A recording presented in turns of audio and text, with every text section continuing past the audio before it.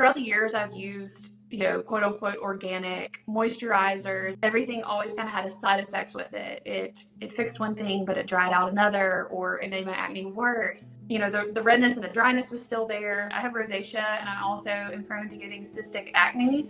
And so my entire life, I've just spent basically covering up the redness in my skin. I always would pack on foundation, and like something was was wrong with me. Like, what am I doing wrong? Am I not washing my skin good enough? Am I not, you know, taking care of it? When it came to my skin, I was like, there's no way that I can use something that's all natural that's going to work.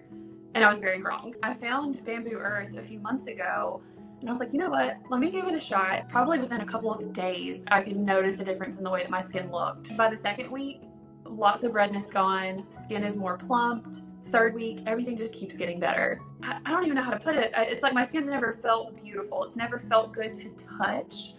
But my skin feels so healthy and I feel like it glows and it's soft and it's it doesn't burn. I don't have dry patches. And I'm just amazed because I was using most recently I was using, you know, tretinoin.